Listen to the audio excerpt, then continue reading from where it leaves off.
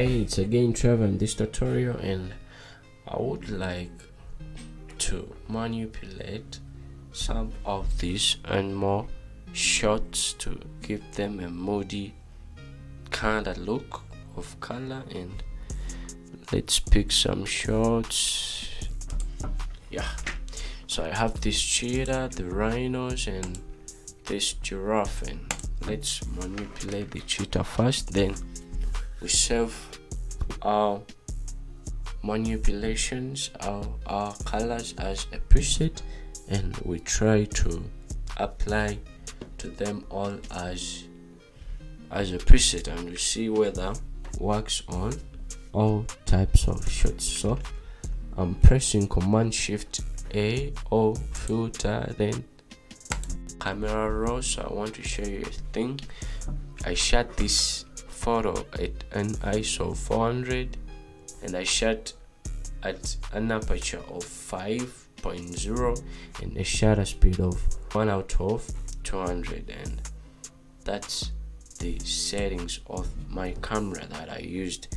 And when you look at the photo it's kind of nice sharp with the textures of this fine. Let's try to add some sharpness using the high pass method um, I'm pressing ctrl J command J to copy my subject and go to the blend mode and change it from normal to linear light and go to filter other and high pass so i'm putting this at zero and trying to add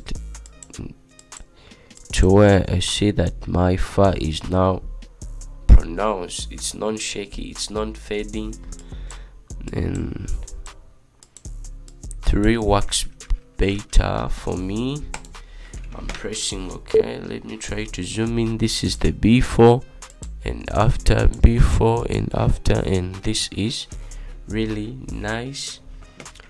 Let me press ctrl j to this background layer to make a copy and i'm selecting both layers ctrl e to merge them and i'm renaming this upper layer as my color graded photo and let's color grade this. Go to filter and press camera raw or use shift or use command shift a load up the camera raw so let's try to do the best corrections to this photograph. So i want it a bit warm because it was a sunny day. So i'm pulling the temperature to positive 5 i'm bringing a bit of my highlights so that i retain all the exposed areas back.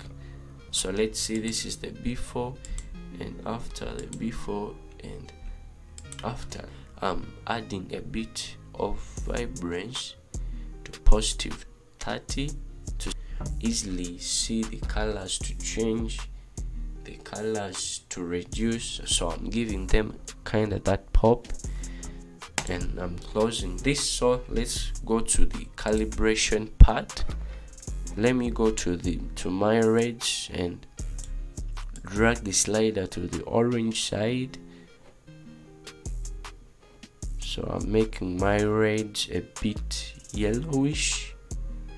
And let me go to my blues and drag them to the cyan let me add a bit of circulation of my reds to give it that pop and a bit of saturation to to my blues.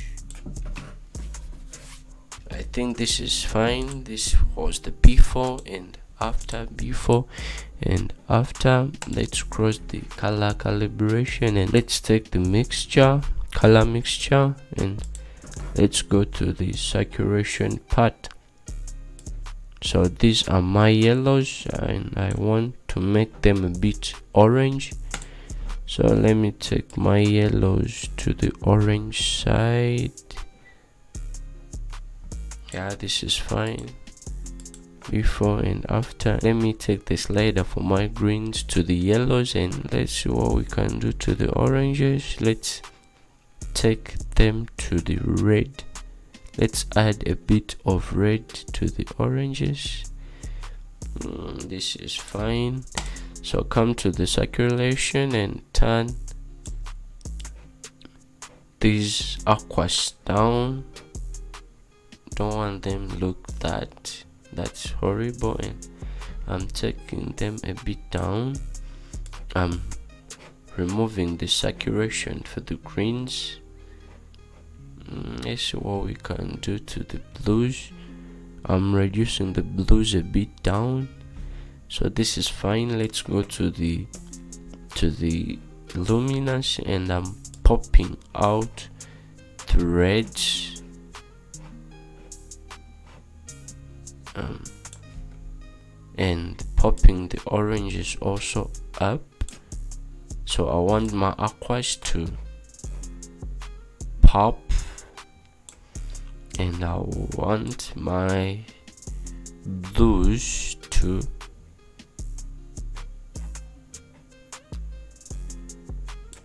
to reduce the lightness a bit down. Go to the color grading. And I want my I want my shadows have some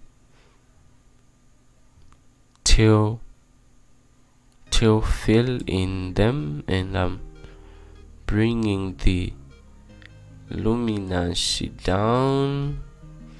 This is very fine.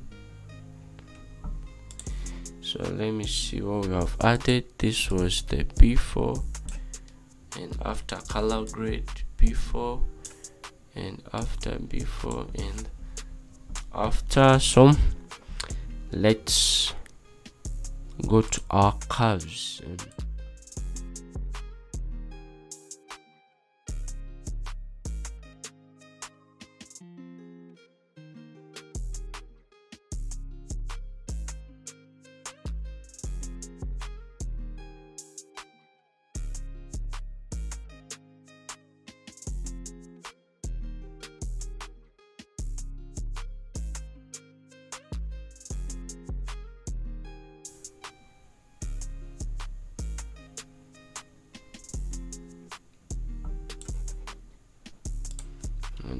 want to check with the highlights the whites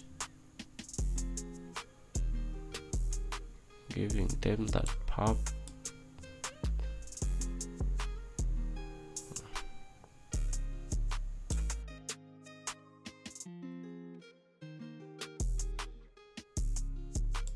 That was the before curves after curves before and after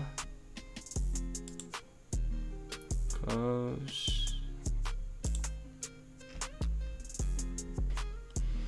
I'm using this radial filter to add some feel to my photo. Let me first bring this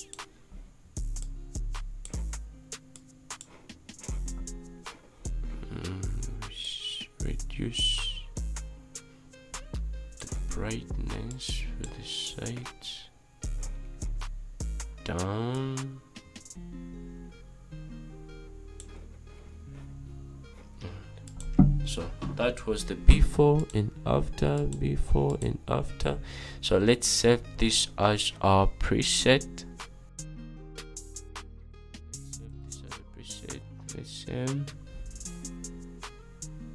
Save settings. We say save. So let's save this these settings on the desktop and we call them anime. Anime. So save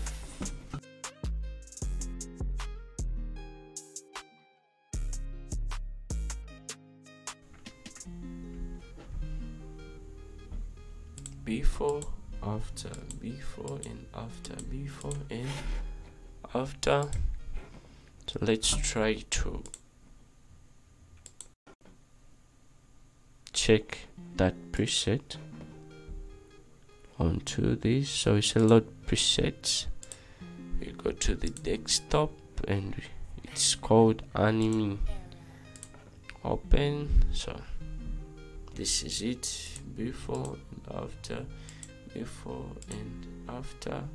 Thanks for watching. Don't forget to subscribe and leave a comment for the next tutorial